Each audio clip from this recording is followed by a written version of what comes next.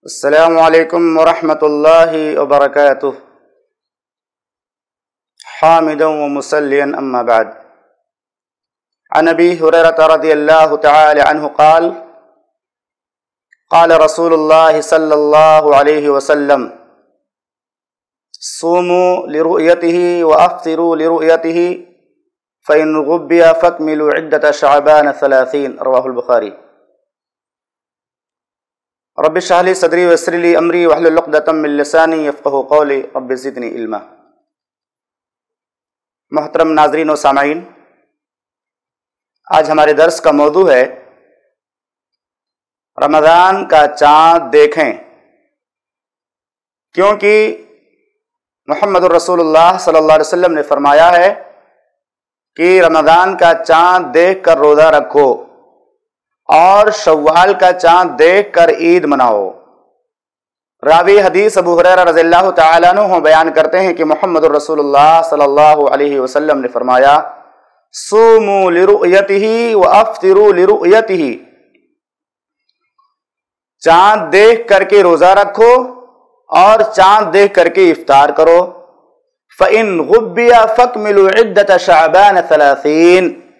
اور اگر بدلی ہو جائے تو ماہ شعبان کی تیس دن مکمل کر لو۔ اس حدیث سے پہلا مسئلہ یہ ثابت ہوا کہ ہمیں چاہیے کہ شعبان کی انتیس تاریخ کو ہم چاند دیکھیں۔ انتیس تاریخ کو چاند دیکھیں، اگر چاند نظر آ جائے تو ہمیں روزہ شروع کر دینا چاہیے۔ اور اسی طرح سے رمضان کا چاند اس قدر اہم ہے کہ اس کے متعلق محمد الرسول اللہ صلی اللہ علیہ وسلم نے ایک دوسری روایت میں بیان فرمایا احسو حلال شعبان رمضان رمضان کی تعین کے لیے، رمضان کے مہینے کی تعین کے لیے تم شعبان کے چاند کو شمار کرو۔ علامہ البانی رحمہ اللہ نے سلسلت الحادیث سیاح میں اس روایت کو نقل کیا ہے۔ یہاں پہ کہا گیا کہ تم رمضان کے مہینے کی تعین کے لیے شعبان کے چاند شمار کرو، ان کی گنتی شمار کرو۔ کیونکہ آدمی جب رمضان کا مہینہ پاتا ہے اور رمضان کے روزے رکھتا ہے، اس کے بعد اللہ رب العالمین اس کو عید کی خوشیاں نصیب کرتا ہے۔ یہیں پہ ایک مسئلہ اور بیان کرنا چاہتا ہوں۔ وہ یہ کہ رمضان کے چاند کے لیے صرف ایک آدمی کی گواہی کافی ہے۔ اس کے علاوہ دوسرے مہینوں کے چاند کی گواہی کے لیے دو آدمیوں کی گواہی ضروری ہے، لیکن رمضان کے چاند کے لیے صرف ایک آدمی کی گواہی کافی ہے۔ اس کی دلیل سنن ابو داود کی روایت ہے، تیئیس سو بیالیس نمبر پہ موجود ہے، جس کے راوی عبداللہ بن عمر رضی اللہ تعالی عنہما ہیں۔ وہ بیان کرتے ہیں کہ لوگوں نے چاند دیکھنے کی کوشش کی۔ اور میں نے جا کر محمد الرسول اللہ صلی اللہ علیہ وسلم کو خبر دیا، انی رأیت الحلال کہ میں نے چاند دیکھا ہے۔ تو اللہ کے نبی صلی اللہ علیہ وسلم نے بھی روزہ رکھا اور لوگوں کو بھی روزہ رکھنے کا حکم دیا۔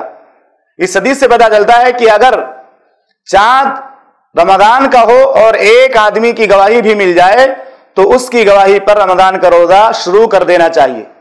اسی طرح سے ہم سماج اور معاشرے پر جب نظر دوڑاتے ہیں تو ہمیں بات معلوم ہوتی ہے کہ لوگ رمضان اور عید کے چاند میں بہت فرق کرتے ہیں۔ چونکہ لوگ روزہ رکھنا نہیں چاہتے، اس لیے رمضان کا چاند دیکھنے کی کوشش نہیں کرتے اور ایک روزہ چھوٹ جاتا ہے۔ اور عید کے منانے میں بڑے لوگ پرجوش ہوتے ہیں۔ عید کا شوق لوگوں کو زیادہ ہوتا ہے۔ اس لیے عید کے چاند کے دیکھنے میں کبھی کاہری اور سستی کا مظاہرہ نہیں کرتے۔ ہمیں چاہیے کہ جس طرح سے ہم عید کا چاند شوق سے دیکھتے ہیں، اسی طرح سے رمضان کا چاند بھی ہم شوق سے دیکھیں، کیونکہ رمضان کی برکتوں اور رمضان کے اندر جو اللہ تعالیٰ کی نعمتیں ہیں، اس کا ہم اندازہ نہیں لگا سکتے اور رمضان کے روزوں کے بدلے ہی اللہ تعالیٰ ہم کو عید نصیب کرتا ہے۔ تو اس لیے ماہ شابان کی انتیس تاریخ کو چاند دیکھنے کا اہتمام کریں اور اللہ سے دعا کریں کہ رب العالمین ہم سب کو رمضان کا مقدس اور محترم مہینہ عطا فرمائے اور ہمیں اس کی قدر کرنے کی توفیق عطا فرمائے اور ہم سب کو ایمان کے ساتھ موت نصیب فرمائے. آمین. وصلی صلی اللہ علیہ نبی الکریم.